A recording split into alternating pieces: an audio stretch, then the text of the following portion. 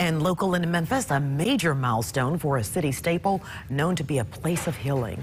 The Oaks at La Paloma Addiction Treatment Facility, celebrating years of service in its century-old building. It sits on 12 acres in South Memphis. The facility was first built back in 1919, and that was to house the Crippled Children's Hospital, treating those suffering from polio.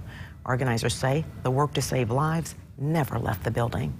There are opportunities to intervene and help people not just live, but live lives of happiness and joy. And that's really what we're about putting together for individuals, is helping them find their way out of that darkness.